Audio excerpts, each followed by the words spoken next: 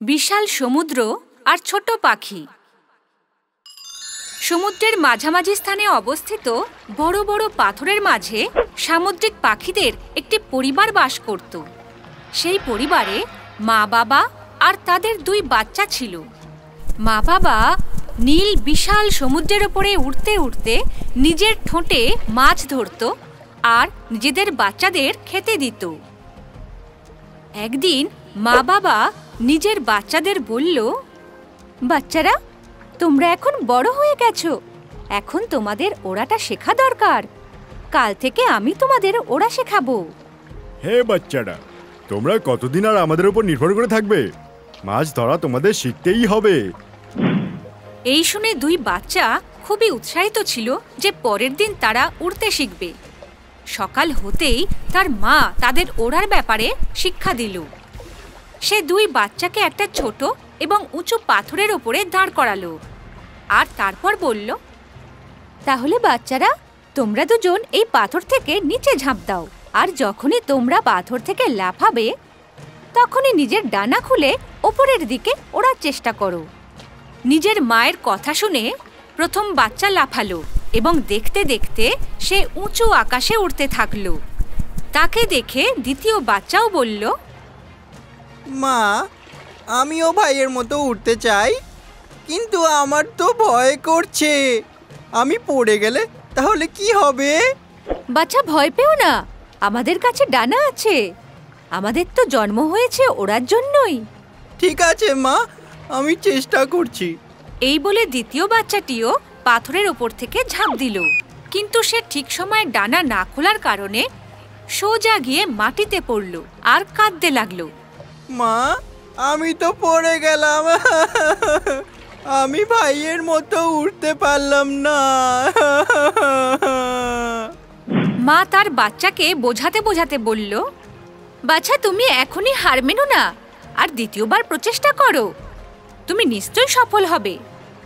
মায়ের কথা শুনে সে আবার চেষ্টা করল, কিন্তু সে আবারও পড়ে গেল। এইভাবেই সে অনেকবার ওড়ার চেষ্টা করল, কিন্তু সে উড়তেই পারল না। না উঠতে পারার কারণে তার খাবারের ব্যবস্থা তার বাবা, মা আর ভাইকেই করতে হতো। একদিন তার বাবা তার কাছে আসে আর বলে, বাবু, তুমি আর কতদিন আমাদের ওপর নির্ভরশীল থাকবে? তুমি ওরাটা কেন শিখছো না? বাবা আমি কি করব? আমি অনেক ওড়ার চেষ্টা করি কিন্তু উঠতেই পারি না। এই শুনে তার বাবা ওখান থেকে চলে গেলেন আর তিনি একটি পরিকল্পনা বানালেন। সে তার স্ত্রী আর প্রথম বাচ্চাকে ডাকল আর তাদের দুজনকে বলল আমি তোমাদের দুজনকে একটা জরুরি কথা বলতে চাই। এখন আমরা এই পাহাড়ে থাকব না আমরা এখন থেকে সামনের পাহাড়টাতে থাকব। কিন্তু কেন? আমাদের ছোট ছেলে? সে সে কি করে ওই পাহাড়টায় যাবে? সে এই বিশাল সমুদ্র পার করতে পারবে না। হ্যাঁ বাবা সে নিজের ভোজনটুকুও আনতে পারে না। সে তো আমাদের ওপর সম্পূর্ণভাবে নির্ভরশীল। তুমি ঠিকই বলেছ কিন্তু সে আর কতদিন এই রকম ভাবে জীবনযাপন করবে তাকে স্বনির্ভর হতেই হবে। এখন আমরা তার সাথে আর থাকব না। আর ওকে আমাদের মধ্যে থেকে কেউ মাছ ধরে দেবে না। বাবার কথা শুনে তাদের ভালো তো লাগল না, কিন্তু এরকম করাটাও জরুরি ছিল। যখন সকাল হলো আর সে ঘুম থেকে উঠল, সে কাউকে তার কাছে দেখতে পেল না। সে এদিক ওদিক দেখল, তখন সে দেখল তার মা, বাবা আর ভাই সামনের পাহাড়ে বসে মাছ খাচ্ছিল। এটা দেখে সে খুব দুঃখ পেল। সে চেঁচিয়ে বলল, মা মা তার আওয়াজ শুনে তিনজনই তাকে দেখল। তখনই তার মা বলল হ্যাঁ বলো কেন আমায় ডাকছো? তোমরা তিনজন ওই পাহাড়ে কি করছ? আর তোমরা আমাকে কিছু খেতে দেবে না? এখন আমরা তোমার সাথে থাকব না। আর যদি খাবার শখই হয় তাহলে নিজেই মাছ ধরে খেয়ে নাও। এই বলে ওরা তিনজন আকাশে উঠতে শুরু করে। আর ওই বাচ্চা সারা দিন ক্ষুধার্ত এবং একা ওই পাহাড় থেকে নিজের পরিবারকে দেখতে থাকে। যখন রাত হলো তার ঠান্ডা লাগতে শুরু করল। তখন সে সামনের পাহাড়ে দেখল যে তার মা তার ভাইকে নিজের ডানার নিচে লুকিয়ে ঘুম পাড়াচ্ছিল। এটা দেখে তার নিজের মায়ের কথা খুব মনে পড়তে লাগল আর সে বলল তোমরা তিনজন আমার সাথে এটা কীভাবে করতে পারলে? আমার তোমাদের কথা খুব মনে পড়ছে। এইভাবেই সে তার মা, বাবা আর ভাইয়ের কথা মনে করতে করতে ঘুমিয়ে পড়ল। কিন্তু সকালে যখন সে উঠল, তার ভাই তার সামনেই দাঁড়িয়েছিল আর তার ঠোঁটে একটা মাছ ছিল। তার ভাই মাছটি নিচে রাখল আর বলল, এই নাও খাবার, আমি তোমার জন্য নিয়ে এসেছি। তুমি কাল থেকে কিছুই খাওনি। এই মাছটা তাড়াতাড়ি খেয়ে নাও না হলে মা বাবা দেখে ফেলবে। আর আমার উপর রাগ করবেন। এই বলে তার ভাই চলে গেল। সে মাছ খেতে শুরু করল। সে মাছটা খাচ্ছিল, ঠিক তখনই সে একটা অদ্ভুত আওয়াজ শুনতে পায়। সে পিছন ঘুরে দেখল, তো সেখানে একটা সাপ ছিল। সে সাপকে দেখে চমকে যায় আর চিল্লাতে থাকে। মাগো মাগো বাবা বাবা, আমায় বাঁচাও। ভাই ভাই, তুমি কোথায়? এই সাপ থেকে আমার জীবন রক্ষা করো। তার ডাক শুনে তার পরিবার সামনের পাহাড় থেকে দেখতে লাগল।